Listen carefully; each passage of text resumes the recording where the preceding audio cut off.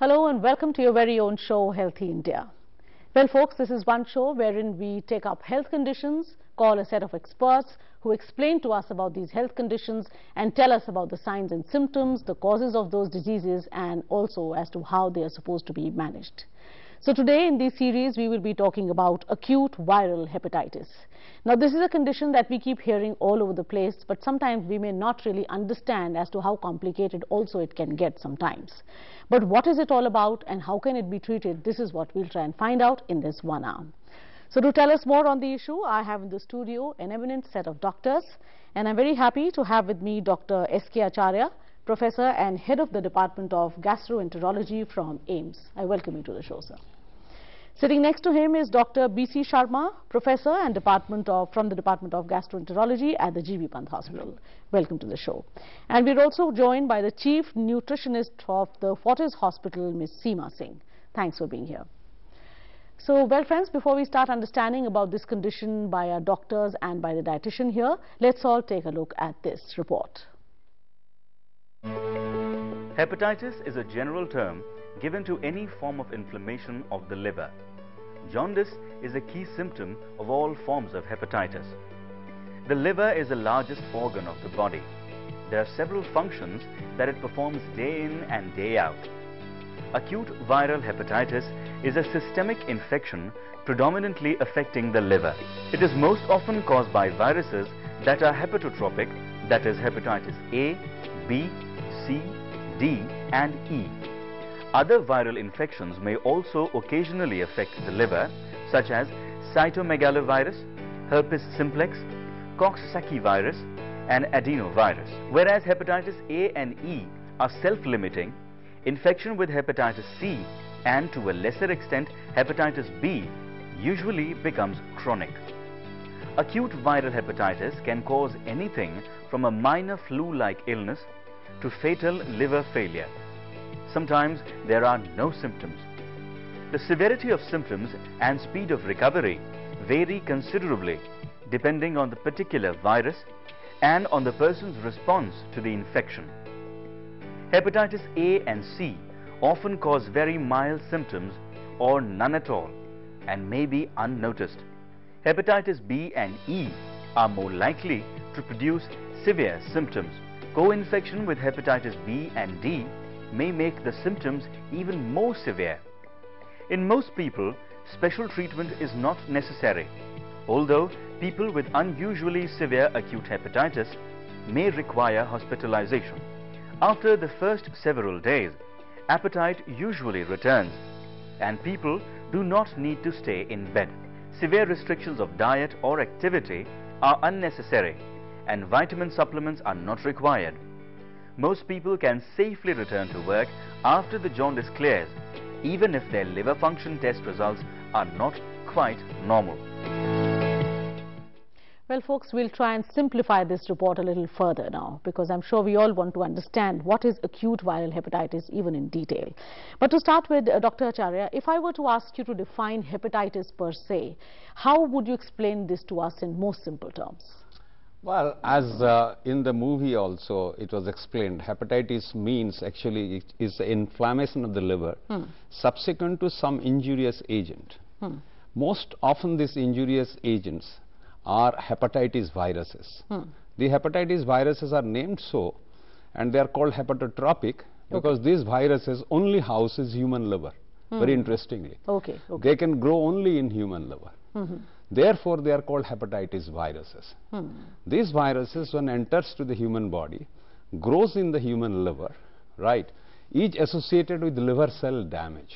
Mm -hmm. Mm -hmm. When the liver cell get damaged, there is inflammation. Anywhere you have a damage, mm. there is a inflammation. That's right. There are many very technical or uh, details of such inflammatory processes, -hmm. -hmm. but it is suffice to say this inflammation of the liver hmm. causes dysfunction of the liver hmm. and liver is a very vital organ of absolutely, the body absolutely absolutely. so when it got uh, its function get compromised hmm. right many symptoms and signs come up hmm. that happens in acute hepatitis but few of these viruses as mentioned in the movie like hepatitis B and C hmm. may be there without causing diffuse liver damage hmm. and may cause slow liver damage over a long period of time, Okay. in the process causing injury hmm. and simultaneous healing. Okay. In healing, we have scars. Right. You know that. Right. So such injury in the liver can induce scars. Hmm. And scars replace liver cells. So in chronic liver disease by hepatitis viruses, over a long period of time, causes we call chronic hepatitis leading to cirrhosis. A supple hmm. organ becomes serous, hmm. hence we call cirrhosis. Right. And can lead to cancer as well. Hmm. Right. So hepatitis viruses not only cause acute viral hepatitis, also the major cause in our country of chronic hepatitis, cirrhosis and liver cancer. Remember, these are preventable diseases. Right. Right. Right. That's why uh, it's very important to know about these viruses, their route of transmission and preventive aspects. This can be all prevented. Mm, Right. We will come to that, but before that, uh, Dr. Sharma, how common is the disease now in India, if I were to ask you that? This viral hepatitis disease is very common in India. In children, mainly due to viral hepatitis A, followed by B and C.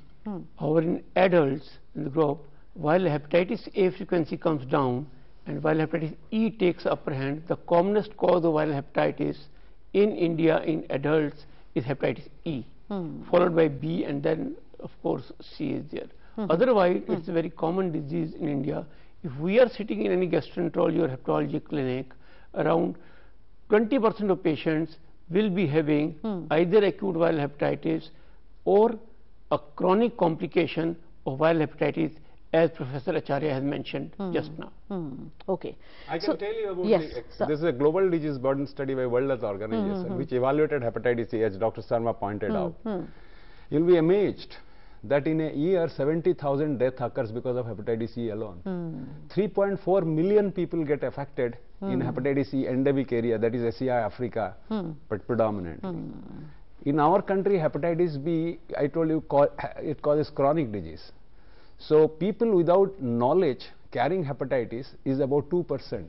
That is Right. 20 million people 20 moving million on the people, street. that's right. Hepatitis C about 1%, 10 hmm. million people moving on the street. Hmm.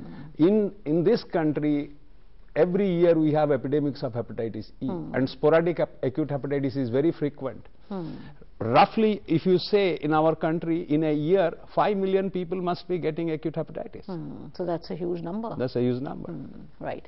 So Seema, uh, as- as a dietitian, what would you like to tell us in terms of causes? Do these external, uh, you know, things, say food items, have any role to play? Uh, yeah, it has role to play uh, in prevention also by following the high-end hygiene and everything while cooking. But, but, what- what- as far as uh, the causes are concerned, and as far as causing yeah prevention as i said and further precipitating into chron- uh, mild liver disease to chronic liver disease if we are not getting the uh, support of good nutrition then precipitation of the disease is more. Okay. as uh, uh, very rightly said that restrictions are not that much required. Okay. person can have normal healthy life while uh, having the healthy diet. Uh, sometimes people are restricting uh, rest- uh, getting the restriction uh, by putting total boiled food. By taking total uh, boiled food and maybe haldi is restricted because uh, they see the yellow surface skin surface is yellow. Then they say haldi nahi khana hai. And also they say complete boiled food and completely uh, maybe egg is restricted maybe dals are restricted. No. It has to be you know uh, appropriate energy a person has to get and appropriate calories uh, um, before uh, this i would like to mention they have to get appropriate amount of protein also. So that further malnutrition should not be there into the body because if the person will be malnourished then liver functions will be uh, really affected and uh, disease will go towards the severity. And also they have to build up the immunity so they have to increase vitamin c intake into the body maybe in the form of lemon or fruit intakes they can increase. And uh, sometimes if uh, signs are like that and uh, blood reports are showing uh, some more severity then yes quality of protein can be changed maybe they will avoid uh, animal food and rather than taking that they will take more of uh, vegetable protein Mhm. All right. Now, Dr. Acharya, now there are kinds of hepatitis as we keep hearing A, B, C, D and now E.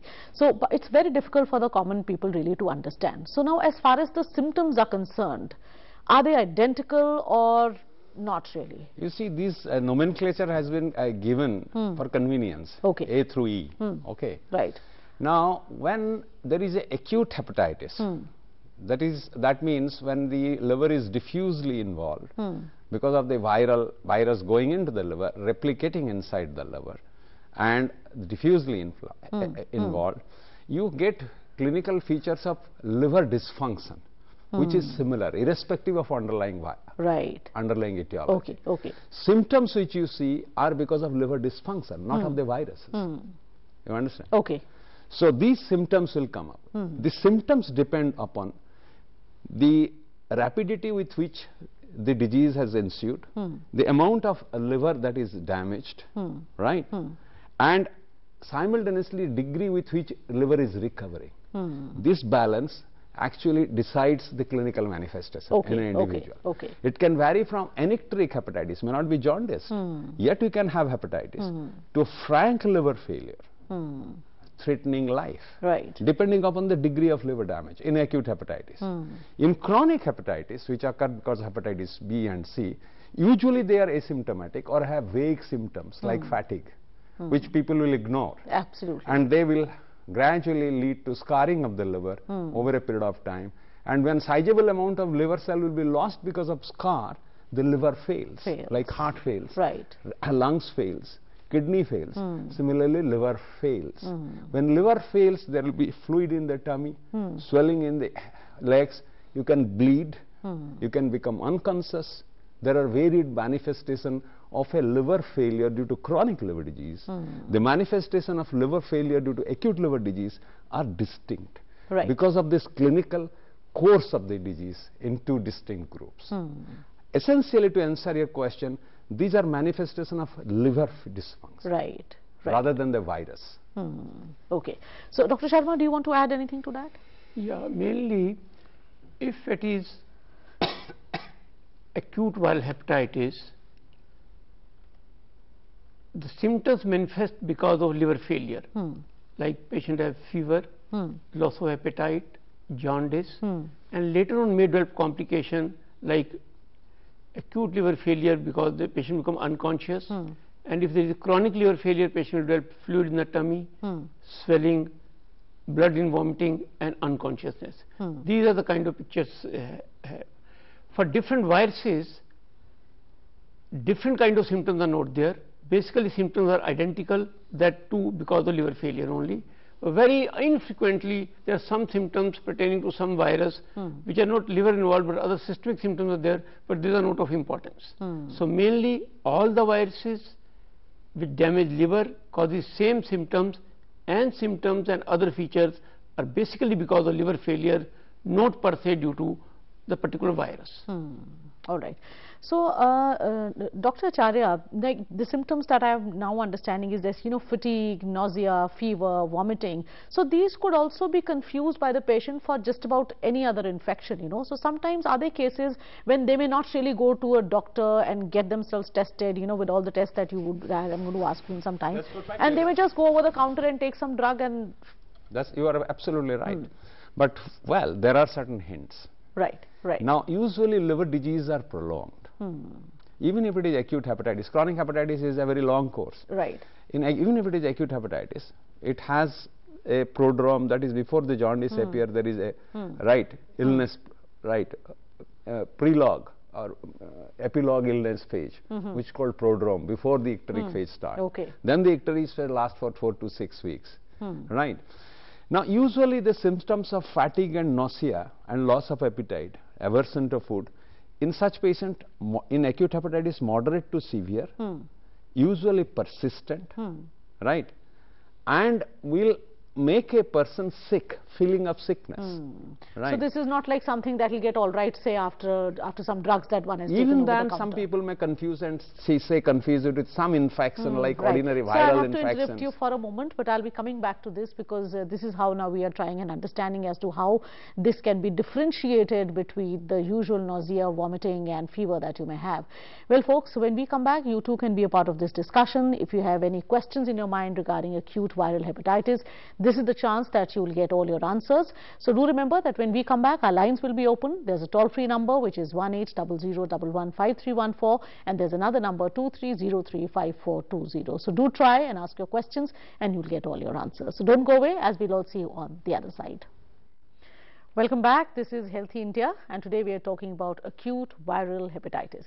So if you have a question regarding this condition, then this is your time to pick up your phone and reach us at 1-800-115314 or 23035420. Do remember that today we are only talking about acute viral hepatitis. So do ask pointed questions and when you call us, kindly keep the TV volume to the bare minimum so that we can hear you and you can hear us. Well, before we went into the break, I was uh, trying to understand from Dr. Acharya because the symptoms that all the doctors here have talked about could be common to any other disease, which is fever, nausea, vomiting and fatigue and what have you. So, uh, Dr. Acharya, I'll let you complete as to how should a person go about, you know, understanding that this could be something else. Well, as I, as I told from the beginning Hmm. that if you see uh, there is aversion to food, there is something different in loss of appetite. Right. And I always in acute hepatitis aversion to food. Aversion to food. Okay. Right. Seeing food you feel nauseated is something different than having other Hmm. Right, viral right, infections. These right. are subtle features Okay. which should be very important to see. Hmm. Second, you feel very weak, hmm. very drained out, hmm. right? And you feel sick, right? This is second important. Third, this persist, right? This persist for few days, two days, three days, four days, it will persist. Right. You may have fever, may not have fever. But associated fever indicates a more liver damage, roughly, okay. okay. clinically. Okay. Right. Okay. Hmm. So if you have a persistent aversion to food, hmm. having nausea, seeing food, hmm. these are important for hepatitis. Right. Along with which, if you have severe weakness, you must consult a doctor. You are a normal man. Absolutely. You are walking. Now you are feeling very weak to go to toilet. Okay. right. So even Things daily like course that. become an yes, exercise. you feel very severely okay. weak. Okay. Right, in acute hepatitis. Right. These are very warning symptoms to consult a doctor, get yourself tested. Mm, Okay. So talking of testing, uh, Dr. Sharma. But what I am telling you, these are before onset of jaundice even. Right, right, right. So what you asked me, how you will give a very subtle hint. So that these you are those subtle hints. Right, that's okay, right. Okay, okay. So talking Or of uh, if you have contact, come in contact with a hepatitis patients, Hmm. right? Or you have exposed to common source of, suppose you have gone five friends, Hmm. you have gone outside, you have eaten food somewhere, Hmm. right? Contaminated food and water is the commonest source Commonest of source of- transmission for hepatitis A and E, Right. which causes acute hepatitis. Okay, okay. And you had one friend ill, Hmm. right? And after 10, 15 days you are feeling fatigued, Hmm. right? And these are the symptoms. So you see, this is a pattern, this is a package. So these information is important for a person hmm. to understand that he should consult a hmm. doctor. Okay. So, Dr. Sharma, if somebody comes to you with these symptoms, I'm sure you'd run a battery of tests on this person. So, what are those tests going to be? How are you going to di diagnose and investigate? Yeah. Whenever patient comes with these symptoms, hmm. the first before test, we examine the patient. Our aim is to find out what is the cause of jaundice, hmm. whether he has viral hepatitis or not. If he has viral hepatitis, what type of viral hepatitis he has, hmm. and if he has viral hepatitis, whether he has developed any acute complication of this viral hepatitis or not. Hmm. We look for his eyes for jaundice, for anemia, then his tummy for liver enlargement and spleen enlargement, or if there is any fluid in the tummy, or there is swelling of the feet, all these things we examine. Then we want to do investigations. The two most important investigations we do is blood investigations. Hmm. For blood investigations, what we name is liver function test. Hmm. First test is bilirubin. Hmm. That determines what is the level of jaundice, Right. whether bilirubin is elevated or not. Then the liver enzymes, those are also get increased in viral hepatitis. If bilirubin is high and enzymes are also raised, then that gives us a possibility that hepatitis is there. Hmm. Then we get in blood investigations to know what kind of virus is affecting the liver. Hmm. Hepatitis A, there are antibodies. Therefore, hmm. hepatitis E, there are antibodies For hepatitis B, there is antigen, and for hepatitis C also there are antibodies. So And I'll then have there- to interrupt you for a moment. We have a viewer with us. This is uh, Gagandeep from Punjab. So Gagandeep, are you there with me? जी ma'am Welcome to the show and what's your question? हाँ जी ma'am मुझे ना hepatitis B की शिकायत आई है जी ते मैं, मैं अ, उसका लेवल 2.8 है मैम जो लेवल करवाया है। हम्म। अ, मु- मुझे क्या करना चाहिए मैम लिवर में मैं फ्रोज हो गई थी और इन्फेक्शन हो गई थी। एस वगैरह बढ़ गए थे हम्म। बढ़ गए थे। हम्म। आप एक मिनट लाइन पे रहिए और डॉक्टर आचार्य आपके सवाल का जवाब देंगे। यस जी मैम देखिए आपको जो हेपेटाइटिस बी हुआ है ये क्रॉनिक हेपेटाइटिस बी है। आप एडल्ट हो ये most likely chronic hepatitis B है। हाँ है हाँ तो क्रॉनिक हेपेटाइटिस बी है। दूसरी चीज़ ये है आपको जिगर मुझे लगता है थोड़ा बहुत डैमेज भी है बिकॉज़ आप बोल रहे हैं लिवर एंजाइम रेज था।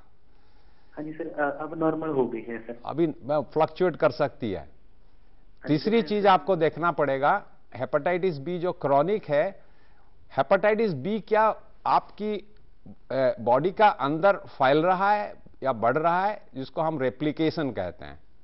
हेपेटाइटिस बी रेप्लिकेट कर रहा है उसको हम जाँच करके पता कर सकते हैं रेप्लीकेट कर सकते हैं और कितना ज़ोर से रेप्लीकेट करता है, ये भी पता कर सकते हैं। तीस, चौथी चीज़ जो पता करना है, इस रेप्लीकेशन का साथ आपका जिगर में क्या काफ़ी डैमेज है? आपका रेप्लीकेशन है और डैमेज लिवर में है तो आपको इलाज चाहिए। इलाज है वायरस को रेप्लीकेशन को दबाना। वायरस रेप्लीकेशन को दबाने से जिगर की इन्फ्लामेशन इंप्रूव करता है और जिगर बेहतर होता है। तो ये आपको चार चीज़ आपको टेस्ट करना चाहिए। ये टेस्ट थोड़ा स्पेसिफिक है थोड़ा टेक्निकल है जिसके लिए आपको डॉक्टर का मदद लेना ही पड़ेगा। और उनका गाइडेंस में इलाज करना पड़ेगा। और एक चीज़ मैं बता दूँ आपको एक बार आपको हेपेटाइटिस बी हुआ है वो हेपेटाइटिस बी आपका जिगर छोड़ के जाएगा नहीं। जिगर उसका घर है उसको निकाल नहीं सकते हो। उसको दबा के रखना पड़ेगा ज़िंदगी भर। तो इसीलिए एक बार कोई डरने के बात नहीं है। हेपेटाइटिस बॉडी में बहुत सारे वायरसेस ऐसा है। ये भी ऐसा एक वायरस होगा बट उसको रेगुलर जाँच प्रताप करके उसको दबा के ठीक ठाक रखने से आपका जिगर ठीक रहेगा, जिगर ठीक रहने से आपको नॉर्मल लाइफ मिलेगा। Well so that was a detail answer to Gagandeep question we have another viewer this is Bijendra Singh from Madhya Pradesh so Bijendra are you there with me please hello नमस्कार ma'am मैं ब्रजेंद्र सिंह परिहार जी निवाड़ी से बोल रहा हूँ MP की हम्म। मेरा सवाल ये है मैम ये इसका कारण क्या है जो ये जो वायरस फैलते हैं हम्म। और बचाव क्या है खास बचाव क्या कर सकते हैं हम लोग हम्म। जिससे हम लोग इस वायरस से बच ही रहे हैं और हमें इस समस्या न आए जी thank you for your question मैं चाहूँगी कि डॉक्टर शर्मा इस बात का जवाब दें Can I answer this question in English? Alright Yeah. Uh, the viruses, as we mentioned, is viral hepatitis A, Hmm. B, C, D, and E. Hmm.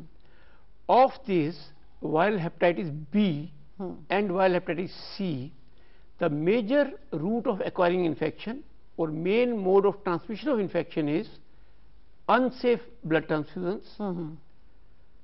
intravenous drug use or abuse, multiple sexual partners, by surgeries, needle pricks, and then for hepatitis B, one is vertical transmission means transmitted from mother to child during delivery. Hmm.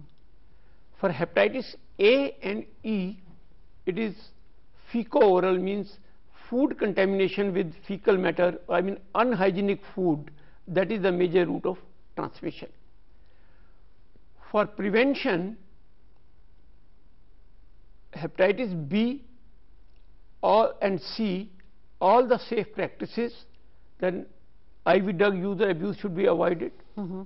Safe sexual practices, blood transfusion should be safe and should be tested, and while operation and surgery in good hospital where these precautions are taken. And for hepatitis B, the vaccine is very important, and every person should be vaccinated, should receive three doses of hepatitis B vaccine. Hmm. For hepatitis C right now we do not have commercially available hepatitis C vaccine.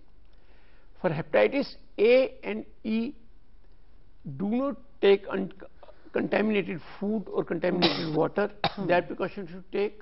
And for hepatitis A, especially in childhood, hepatitis A vaccine can be given for prevention. Hmm. So these are the various modes of transmission and prevention for all these kinds of viruses. Right. Well, uh, there's another viewer. This is Mr. M.K. Butt from Jammu and Kashmir. So, Mr. Butt, welcome to the show. And uh, what's your question? Uh, good evening to all of you. Good evening Good to evening you. to all of you. Panelists and NK Bhatt from Srinagar.